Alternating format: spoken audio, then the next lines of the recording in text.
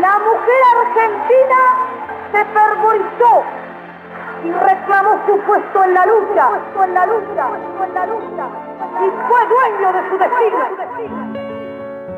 In Argentina, the gender gap is 27%. There are several initiatives to put the issue on the agenda, but nothing seems to get there.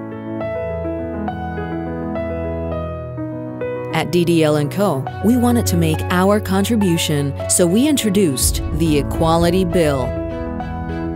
We focused on a particular aspect of Argentine currency.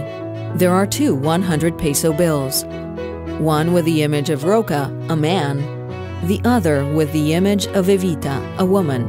For all purchases made at DDL & Co stores on International Women's Day, the 100 peso bill with a woman on them were worth 127 pesos, and the bills with a man were worth 100.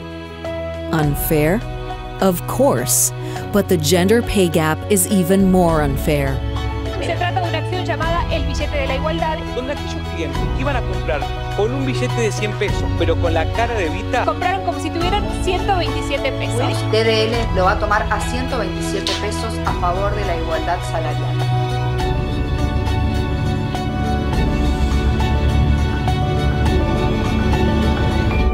Together, we can show the world that equality is a true value.